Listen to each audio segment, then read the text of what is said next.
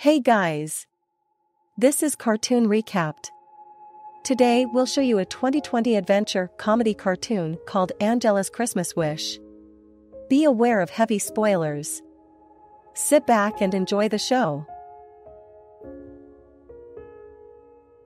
In Limerick, 1913, a young Angela watches her father leave for Australia before getting a chance to sing a song to him. Two years later, one year after the events of the first film, on Christmas Eve, Angela tells baby Jesus her Christmas wish, wishing it would be a doll from a toy shop. But mother's strict house duties prevent it from happening. Back at home, Mother tells the children a story about a king and pauper who get one wish each from a genie, but the pauper's wish is never fully told, with the only words being I wish, I wish, I wish. While cleaning up their rooms, Angela wonders why her mother has been so strict every year. Tom explains that she misses their father, and Angela comes up with several plans to get their father back from Australia. Angela, along with her brother Pat, start by digging holes, but fail after trying to dig both theirs and their neighbor's backyard.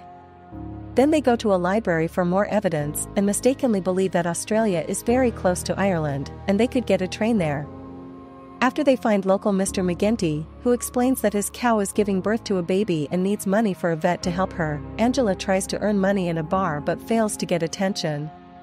Pat walks into the bar, and they start singing Angela's song she wanted to sing for her father, and they earn wide amounts of money.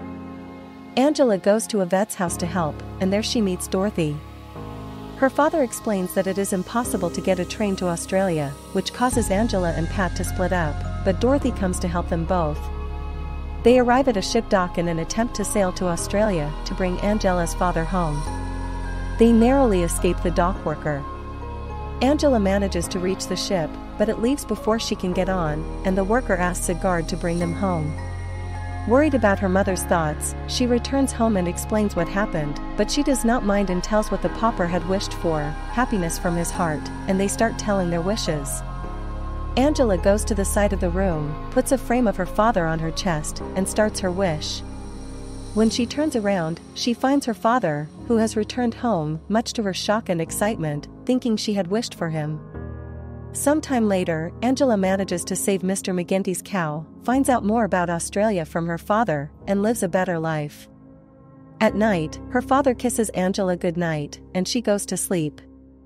Thanks for watching. Hope you all enjoyed and don't forget to subscribe to our channel.